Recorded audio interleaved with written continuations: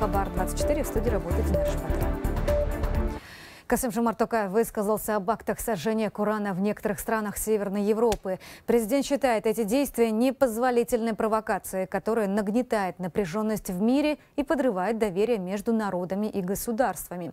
По его мнению, случаев религиозного вандализма становится все больше. Безответственное поведение граждан некоторых стран должно быть единодушно осуждено. Такие акции идут в разрез с общепризнанными нормами цивилизованного сосуществования государств и религий, Свое веское слово по этому поводу должна сказать и Генеральная ассамблея ООН, подчеркнул президент. Касым Жумар Токаев также отметил, что Казахстан – инициатор проведения съезда лидеров мировых и традиционных религий, который считается платформой для диалога между видными представителями различных конфессий.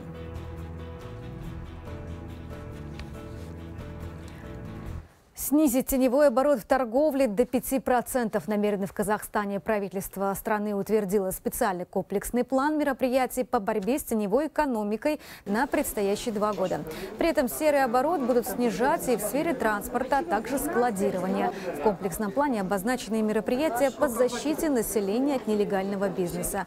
Кабмин планирует повысить качество таможенных досмотров и оптимизировать их, а налоговое администрирование усовершенствовать.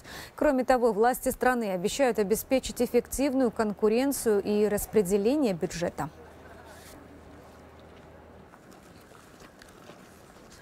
Жертв финансовой пирамиды Sunsair System Group еще ищет Департамент экономических расследований Алматы. В отношении представителей компании начато расследование. Их подозревают в создании и руководстве финпирамиды. И сообщается, что своим вкладчикам они обещали высокую доходность до 8% в месяц и более 70% в год. При этом минимально нужно было вложить 100 долларов, а за каждого нового привлеченного клиента компания гарантировала доход в размере 5% от суммы но им не предоставляли какие-либо подтверждающие документы. Вложения отображались в личном кабинете вкладчиков в цифровом формате. Более того, их нельзя было снять. Агентство по финмониторингу просит пострадавших от деятельности компании S-Group обращаться в Департамент экономических расследований по Алматы или в колл-центр агентства по финансовому мониторингу. Казахстан модернизирует все пункты пропуска на таможенной границе Евразийского экономического союза. Завершить ремонт планируют до конца следующего года. Это позволит увеличить пропускную способность с 1 до 8 тысяч автомобилей в сутки. А вот процесс оформления грузов, наоборот, сократится. И вместо двух часов будет занимать всего 25 минут. Реконструкцию продолжают на 10 контрольных пропускных пунктах. По данным Комитета государственных доходов, с начала года на рубежах страны провели провели большую работу по внедрению электронной очереди и цифровизации процесса декларирования товаров. Все это, по словам специалистов, дает положительные результаты. В результате проведенной работы по увеличению товарооборота и совершенствованию таможенного администрирования за первое полугодие 2023 года объем таможенных платежей э, государственный бюджет Республики Казахстан после распределения между странами ЕС достиг 1,9 триллионов тенге что на 21% больше, чем за аналогичный период прошлого года. В том числе хотелось бы отметить, НДС на импорт поступило 890 миллиардов тенге с ростом к аналогичному периоду прошлого года на 71%. Казахстан поднялся из группы «Б» в группу стран-лидеров А по оценке индекса зрелости GovTech. Он измеряет показатели по четырем направлениям – основные государственные системы, предоставления госуслуг, вовлеченность цифровых граждан и поддержка государственных технологий. По индексу цифровизации государственных услуг Казахстан на шестом месте среди 198 стран, а также на 28-м в глобальном рейтинге развития электронного правительства ООН. Казахстан прогрессирует и в области онлайн онлайн-услуг, поднявшись с 11 на 8 место и входит в топ-10 стран по предоставлению онлайн-сервисов. В этом списке находятся также страны-лидеры в сфере электронного правительства, такие как Эстония, Финляндия, Южная Корея, Дания, Сингапур, Новая Зеландия, Австралия, США и Япония.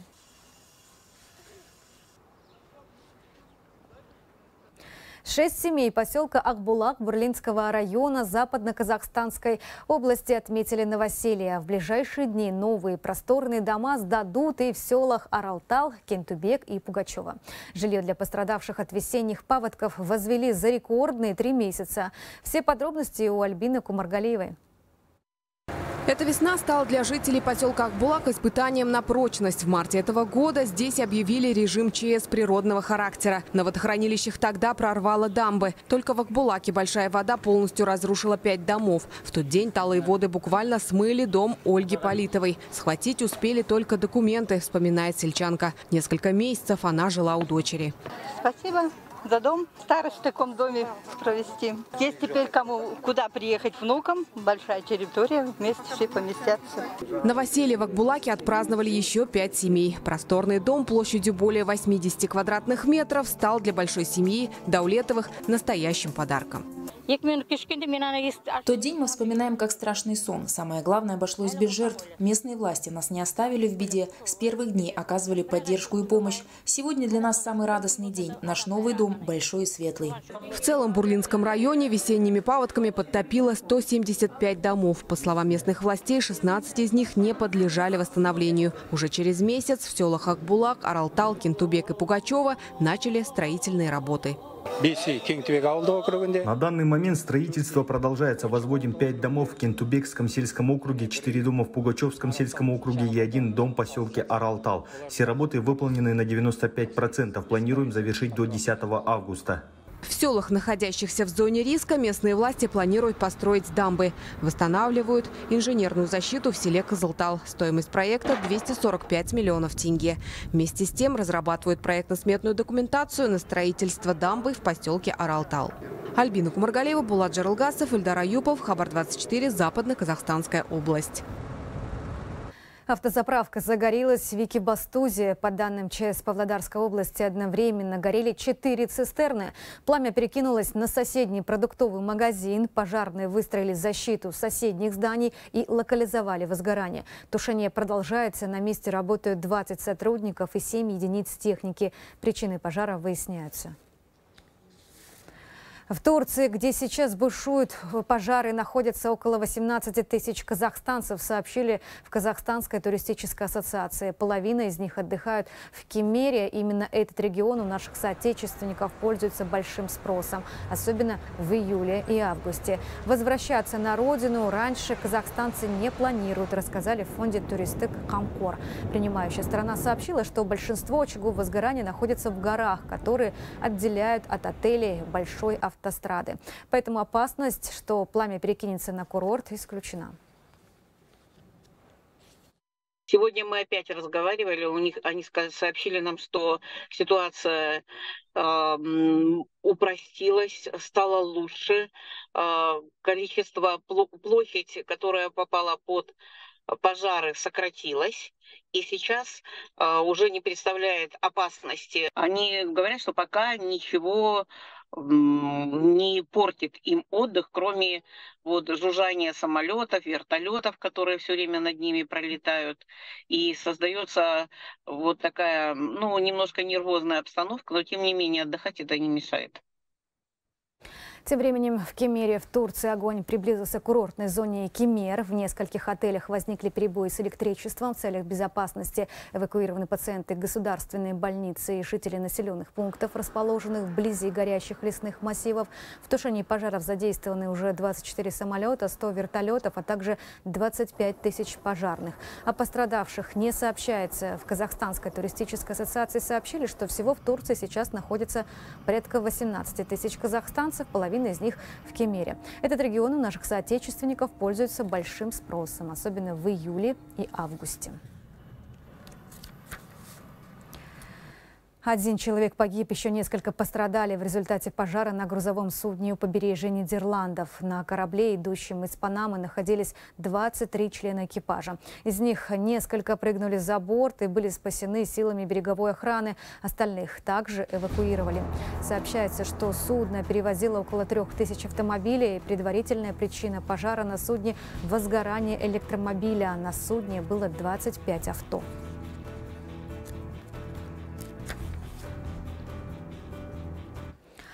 Лесные пожары вспыхнули недалеко от портового города Латакия в Сирии. Причиной стала жара и пересохшая земля. Сообщается, что температура в некоторых районах достигает 40 градусов. По прогнозам, неустойчивые осадки и высокая температура воздуха являются последствиями изменения климата. Экстремальная погода в июле вызвала хаос по всей планете. Рекордные температуры в Китае, США и Южной Европе вызвали лесные пожары, нехватку воды и рост числа госпитализаций, связанных с жарой.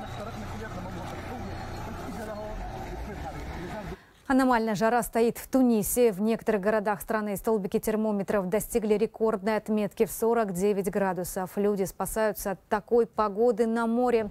На пляжах нет свободных мест. В это время в северо-западном регионе страны бушует лесной пожар. Не исключено, что придется эвакуировать около двух с половиной тысяч человек. В опасных районах объявлено чрезвычайное положение. Жители призвали быть осторожными. Эксперты говорят, что в ближайшие дни жара не спадет. Тайфун Даксури обрушился на северную часть Филиппин. Один человек погиб. Метеорологическая служба островного государства назвала его мощным, опасным для жизни штормом. Стихия принесла с собой проливные дожди и сильный ветер, скорость которого достигает 175 км в час. Тысячи людей остались без электричества. В зоне бедствия оказались свыше 11 тысяч человек. Местные власти предупреждают об, об угрозе внезапных наводнений, оползнях и повреждений инфраструктуры. Жители Пакистана борются с сильным наводнением. Затоплены несколько деревень в провинции Пенджаб. Там в результате муссонных ливней реки вышли из берегов. Местные власти вынуждены передвигаться на лодках. По прогнозам синоптиков, в ближайшие несколько дней дожди будут идти в нескольких провинциях, в том числе Белуджистан, Верхний Синд и Пенджаб. В прошлом году из-за сильных осадков погибли посевы, пострадала инфраструктура. Кроме того, жертвами стали 1700 человек.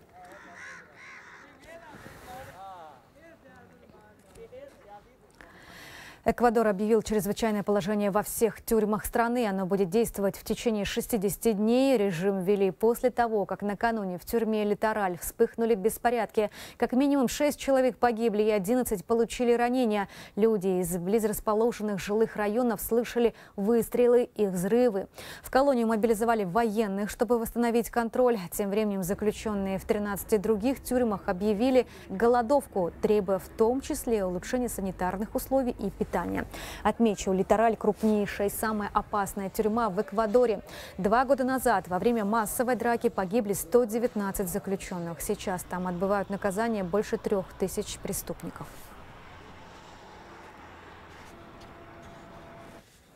В Грузии по статистике жертвами насилия чаще всего становятся женщины в возрасте от 25 до 44 лет. И количество таких преступлений из года в год только растет. Кроме того, все все чаще за убийство судят мужей и партнеров. Чем вызвана такая жестокость, выясняла Юлия Тужилкина. Каждая седьмая грузинка подвергалась насилию со стороны мужа или партнера. Таковы данные масштабного исследования 2018 года. И печальная статистика растет. За три месяца с начала года в Грузии зарегистрировали 207 случаев насилия в отношении женщин. В Грузии участились случаи более тяжелого насилия против женщин, фемицида. Также распространено сексуальное насилие. В целом по стране есть увеличение этой статистики. В качестве превентивных мер неправительственные организации проводят информационные встречи с женщинами. Мы учим их правам, поведению в конкретных ситуациях при насилии, куда им обращаться и что делать. Государственные организации тоже информируют, но эта работа проводится нечасто. В этом году чаще регистрировали случаи психологического насилия, но не редкие случаи физического или даже экономического. И одна из причин – архаичные устои страны. На Кавказе зачастую женщины не являются наследниками имущества своих родителей. По традиции все передается сыновьям, и женщина попадает в изначально созависимые отношения отношения с мужем. Эти женщины, которые к нам попадают, а в основном они жертвы экономического насилия. То есть очень часто мужчины э, говорят, что вот останешься без дома, без крова, детей у тебя отнимут и так далее. И, в общем, эти женщины очень напуганы, приходят к нам, их э, просят о спасении. Эти женщины попадают к нам, конечно, в шелтере. Мы очень стараемся, чтобы помочь им развиваться экономически. То есть у нас есть курсы, где они обучаются профессии, и после этого мы им помогаем очень а, как его, обустраиваться на работе. У каждой женщины, перенесшей насилие, своя история боли и страха. И, как отмечают специалисты, очень редкие случаи, когда мужья или партнеры-насильники осознают свою вину и исправляются. Нане 37 лет. Она рано вышла замуж и сейчас воспитывает троих детей. Несколько лет назад в ее семье произошел неприятный инцидент. Очередная словесная перепалка переросла в конфликт, во время которого муж меня ударил. Из носа пошла кровь. От страха я вызвала полицию. Я не знала законы. Из-за случившегося мужа посадили в тюрьму. А у меня не было места для проживания. И потому я вместе с детьми пошла в приют. Ни в коем случае нельзя ничего терпеть из-за чего-то или из-за кого-то. Советую молодым девушкам не выходить рано замуж. Нана прошла реабилитацию в женском приюте и получила профессию. Сейчас вновь вернулась к мужу, и у них все наладилось. Но, к сожалению, по словам специалистов, таких случаев очень мало. Юлия Тужелкина, Шалва Сурамилашвили, Хабар-24, Грузия, Тбилиси. Члены гильдии актеров вышли на демонстрацию на Таймс-сквер в Нью-Йорке. Протесты прошли в поддержку американских сценаристов и киноактеров, которые требуют справедливую оплату труда.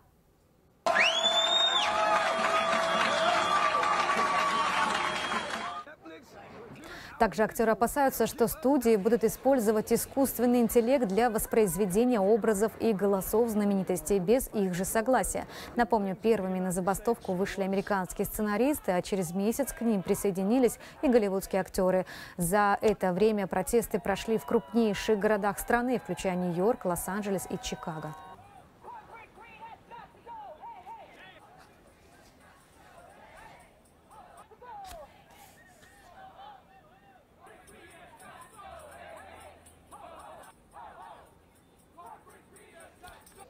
Тайваньская армия провела противовоздушные учения в аэропорту Тайваня.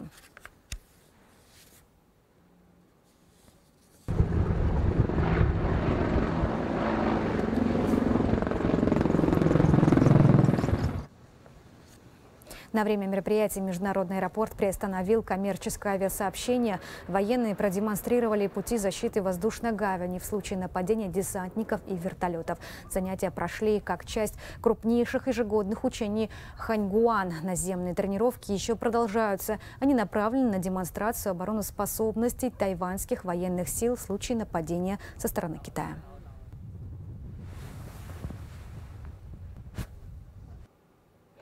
В Актобе в этом году заменят 93 устаревших лифта. На это выделили 751 миллион тенге. Но всего в областном центре в модернизации нуждаются почти в три раза больше подъемных механизмов. Их эксплуатируют уже свыше 25 лет. Замена старых и неработающих лифтов проводится с помощью государственной поддержки. Но средства возвратные. В ближайшие три года заменят 145 старых устройств. По 93 лифтам на данный момент уже завершены 40 лифтов, замена проводится работы по замене 23 э, лифта. Соответственно, уже до конца месяца, данного июля, уже мы заменим 63 лифта. По остальным на данный момент проводится работа именно в части получения согласия от жильцов, именно документальные работы, заключения договоров. Почти половина мусорных контейнеров столицы пришла в негодность. Им требуется замена. Об этом сообщили представители мусоровывозящей компании. По их словам, срок службы таких емкостей до пяти лет. Но их частые поломки провоцируют утилизация неотсортированных и крупногабаритных отходов. Что мешает жителям сортировать мусор и как намерены решать проблему, узнавала Гульдана Калин. Жительница столицы Асель Куспанова ходит в магазин со своими эко-мешочками для фруктов, овощей и мяса. Полиэтиленовыми пакетами девушка не пользуется. Еще одна полезная эко-привычка – сортировка мусора. Дома у нее несколько контейнеров для пластика, макулатуры и пищевых отходов. У меня вот полностью вот такое отдельное небольшое вот э, небольшое ведерко. Сюда я выкидываю пищевые полностью отходы. Это вот э, кожурки от овощей, фруктов, вот э, скорлупа яиц. Я даже это не выкидываю просто в обычный мусорный контейнер, а я это м, закапываю уже в парке. Слегка прикопать, присыпать землей, это будет очень хороший компост. То есть этим я даже еще э, улучшаю качество почвы. Но, как показывает практика, не все казахстанцы готовы сортировать бытовые отходы. Причины разные. Одни ссылаются на отсутствие времени, другие жалуются на нехватку контейнеров для раздельного сбора мусора. Но где я живу, у нас не разделяется. Ну, если рядом дома нету, типа разных этих контейнеров, то в один. А мы не распределяем. Времени нету. У нас работа, дом. Бір пакетпен лақтырамын. Неге? В один пакет. Завязываем и выкидываем. Культуру раздельного сбора мусора в столице начали прививать пять лет назад. На контейнерных площадках Астаны появились тогда желтые баки. Они предназначены для металла, пластика, макулатуры, то есть сухих отходов. Все остальное нужно выбрасывать в зеленые емкости. Но даже при таких условиях люди по привычке собирают бытовые отходы в один пакет. Психологи говорят, мало разъяснительной информации. Оттого у людей отсутствует понимание и интерес к проблеме. Висели раньше, когда был ковид, вот э, много баннеров, да, там носи маску, защитишь себя, спасешь своих близких, там прививайся, а, будет вот такое вот такое следствие, эффект вот этого твоего действия. То же самое, мне кажется, нужно сделать и в этом вопросе, чтобы человек понимал, зачем, зачем я это делаю. Еще плачевнее ситуация в регионах, говорят экологисты. Сколько бы там ни говорили о важности сортировки мусора, вся работа идет на смарку. По их словам, во многих областных центрах до сих пор отсутствуют контейнеры для раздельного сбора отходов. Это вот самая, наверное, большая проблема, почему у нас в стране очень много мусора, почему у нас очень низкая э, процентность и показатель переработки. Это из-за того, что не хватает и нет инфраструктур. Ладно, это у нас в Астане есть, и то, вы знаете, не во всех дворах, не во всех, э, не, не при всех жилых комплексах, даже на, на левом берегу нет этих всех ящиков. Я уже, как бы, что стоит говорить и про другие областные центры, и про города. В стране не хватает и мусороперерабатывающих заводов, говорят защитники экологии. Сейчас твердые бытовые отходы сортируются и перерабатываются только на трех заводах – в Астане, Шымкенте и Жанаузене. В среднем казахстанцы ежегодно производят почти 5 миллионов тонн мусора. Вторую жизнь получают только четверть отходов. По прогнозам экспертов, уже через два года в Казахстане объем твердых бытовых отходов увеличится до 8 миллионов тонн в год. Справится ли мусороперерабатывающая отрасль – вопрос большой. Хотя планы перед собой наша страна ставит достаточно смелые. К 2050 году мы должны перерабатывать половину всех отходов. Ляна Кален, Мирам Жунусов, Хабар 24. Казахстанские школьники завоевали 4 медали на 55-й международной олимпиаде по химии в Цюрихе.